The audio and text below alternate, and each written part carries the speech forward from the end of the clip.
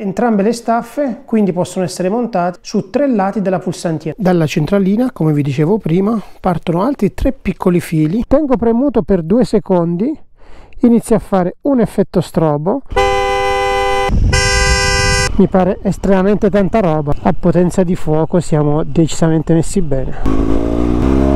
Diciamo che questa è senza e questa è con.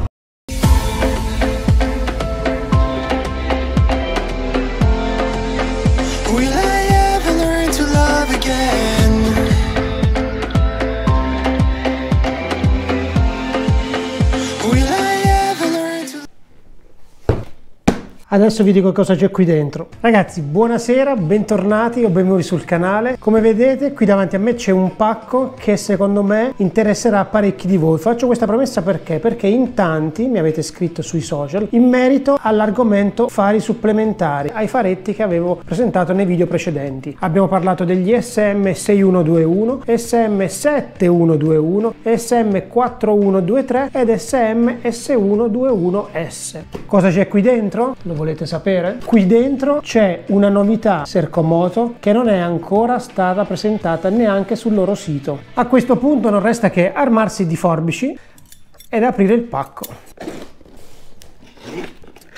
E voilà! All'interno del pacco troviamo la solita imbottitura che serve a protezione del prodotto, troviamo due adesivi Sercomoto e troviamo il cuore di quello che è il prodotto stesso, ovvero una centralina. Poi vi spiegherò tutti i dettagli. Il nuovo prodotto che non troverete neanche sul sito Sercomoto è esattamente questo qui, un gioiello di potenza SM10 12 SD. Questo è il nome del prodotto. Andiamo ad aprirlo. Ci sono ben 10 led all'interno. Ha un diametro di 13 cm ovviamente oltre al faro questa qui è la staffa che tiene il faro stesso. È una staffa estremamente solida rigorosamente in alluminio. Questa si andrà ad ancorare esattamente così. Qua qua e questa va ad ancorarsi alla staffa SM1250 in realtà questi sono due pacchi impilati uno sull'altro tenuti insieme da un adesivo proprio per le dimensioni del faro stesso. Allora andiamo nella seconda scatola, andiamo a vedere cosa c'è nel secondo pacco.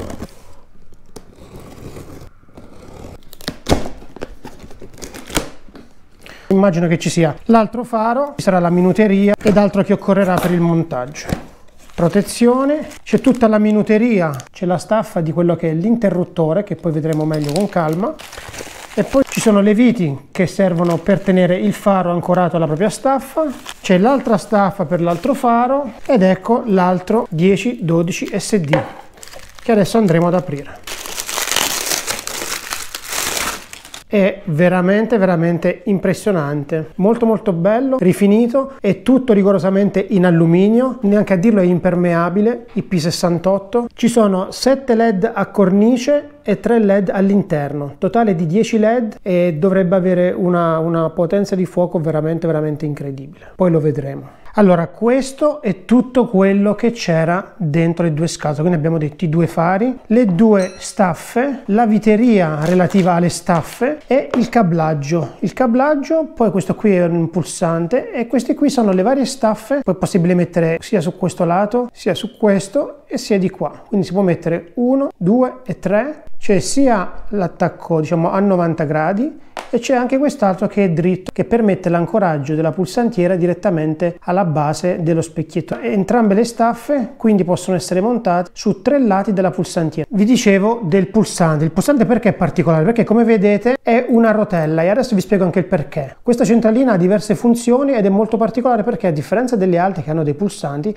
questa ha una rotella che gira sia in senso orario sia in senso antiorario. Perché? La centralina SM002D, qual è la particolarità? Che vi permette di dare potenza ai fari dal 10% al 100%, a seconda di quella che vi serve potete regolare tramite questa rotella la potenza del faro stesso. Una volta scelta la potenza, quella resta memorizzata all'interno della centralina. Poi comunque queste funzioni una volta che monterò il tutto le vedremo dal vivo. Comunque, una volta che voi scegliete la potenza della luce che vi occorre, spegnerete i fari, una volta che riaccenderete i fari, i fari si riattiveranno alla stessa potenza che voi potrete cambiare banalmente ruotando in senso orario o antiorario questa pulsantiera. Oltre a scegliere la densità, l'intensità della potenza della luce, potrete anche scegliere quale effetti strobo far fare ai fari stessi. Adesso vado a srotolare quello che è il cablaggio e vi faccio vedere quanto è semplice assemblare il cablaggio stesso. Quindi abbiamo, abbiamo detto, questo è il cablaggio, questa è la pulsantiera che mettiamo qui per comodità, qui c'è il fusibile a protezione di tutto il circuito, questo è il rosso che va alla batteria, questo è il nero che va alla batteria, poi salendo su abbiamo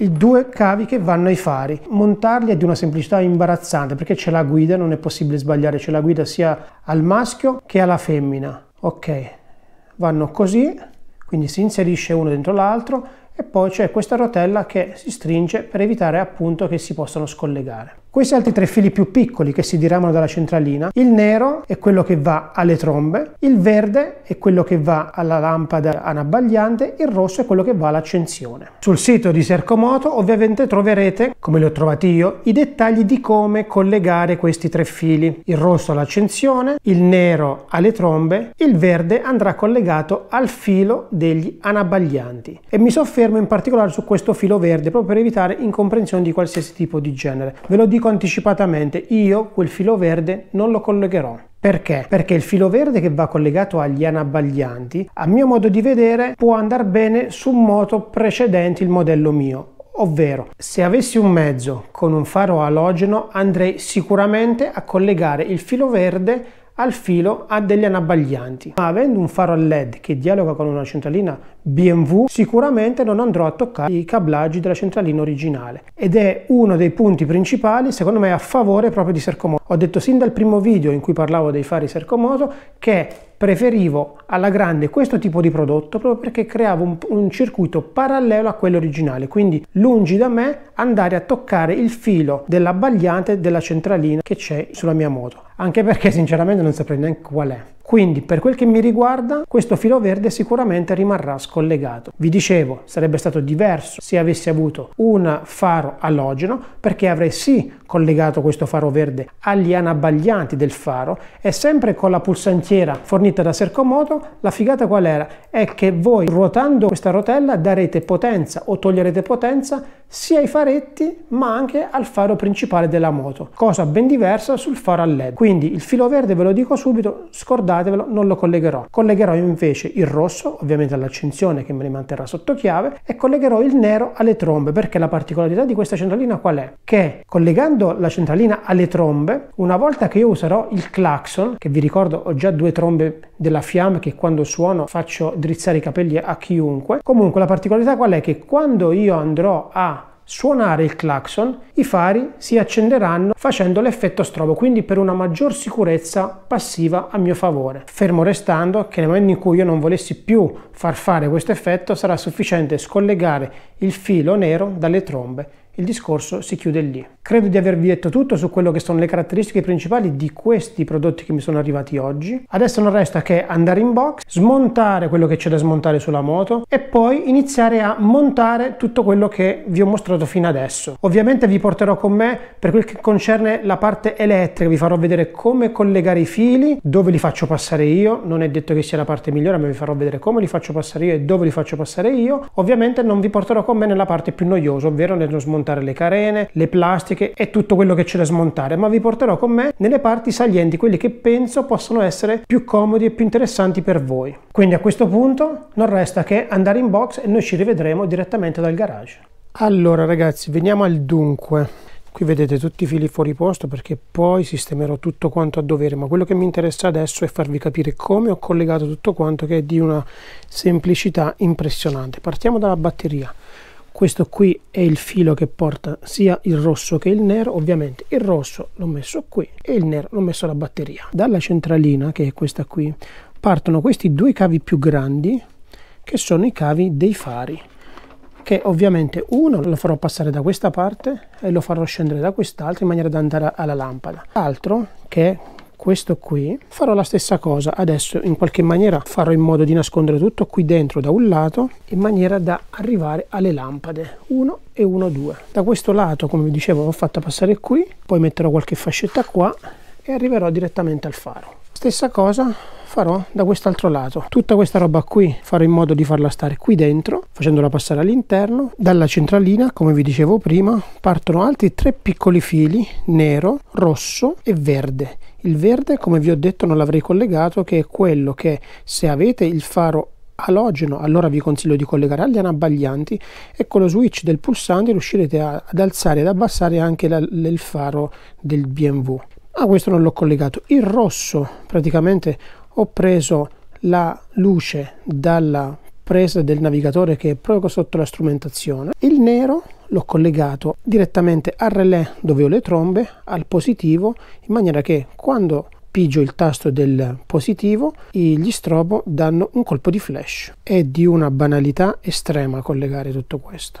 La pulsantiera è qui il filo del pulsante gli ho fatto seguire questo fascio di fili che parte dalla manopola di destra l'ho fatto arrivare qui e da qui poi sono entrato sul lato destro qui c'è il suo spinotto che va direttamente alla centralina la centralina andrà nascosta lì chiudiamo tutto e facciamo un lavoro da serie A poi rimonterò le plastiche e tutto andrà come deve andare. Ovviamente una volta che finisco di fare tutto quanto andiamo fuori e vi faccio vedere tutte le funzioni della centralina e anche il collegamento al clacson che è una vera, una vera figata per quel che riguarda la sicurezza passiva. Adesso non resta che armarsi di pazienza e rimontare tutto e fare un bel lavoro.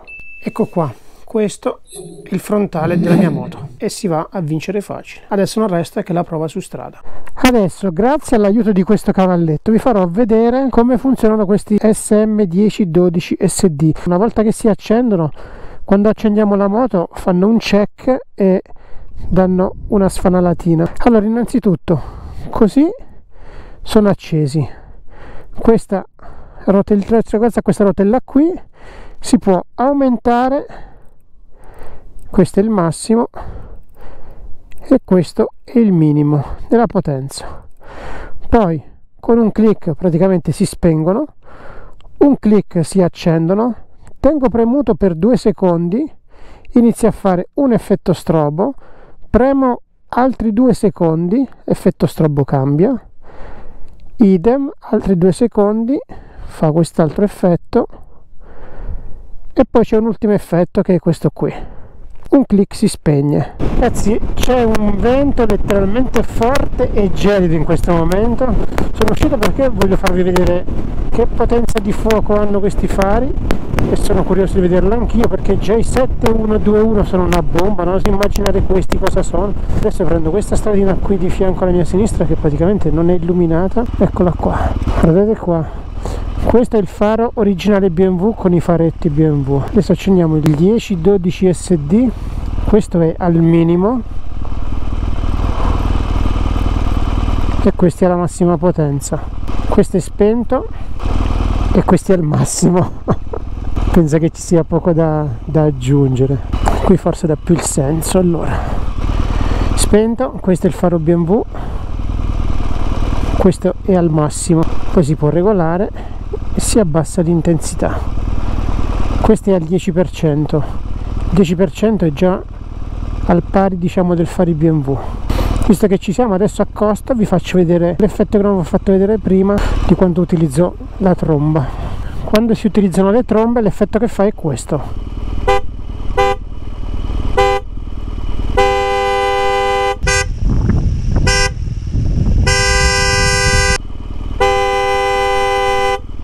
mi pare estremamente tanta roba. La sicurezza siamo al 100% qua. Bene.